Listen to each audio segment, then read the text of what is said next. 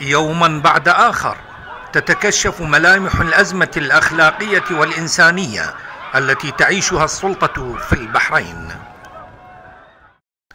فتهديم المقدسات واستباحة الحرمات وانتهاك الأعراض شهادات حية وماثلة تدفع الشعب للإصرار على المفاصلة. وتأتي قضية منع الرمز الكبير الأستاذ حسن مشيمع من حقه في العلاج دليلا اضافيا على الثقافة الاستئصالية للحكم وتكشف النوايا المبيتة للقضاء على قادة الثورة. تدهور الحالة الصحية للأستاذ حسن مشيمع.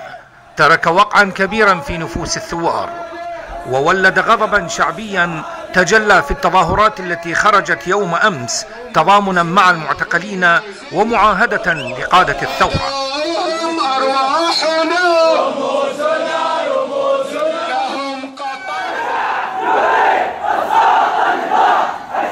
ففي سترة حمل المتظاهرون صور عدد من المعتقلين وجابت التظاهرات شوارع المنطقة قبل أن تنتهي بقمع القوات الأجنبية وإغراق المنطقة بالغازات السامة.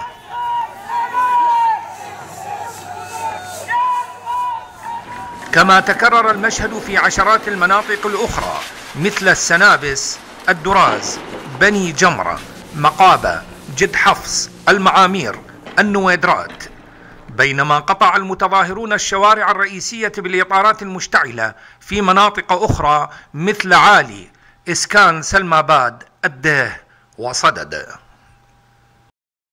من جانب آخر أظهر مقطع فيديو عملية استهدفت قوات أمن النظام في منطقة سترة. فيما نشرت الشبكات الإعلامية لاحقا أن العملية ثأرا للشهيد حسين شرف وهي العملية التاسعة لجهة سمت نفسها بسرايا المختار. وبسبب تصاعد القمع واستمرار الأحكام العدوانية والاستقواء بالقوات الأجنبية فإن شكل الصراع ووسائله أخذ أشكالا مختلفة قد تفرض معادلات جديدة وتغير موازين القوى.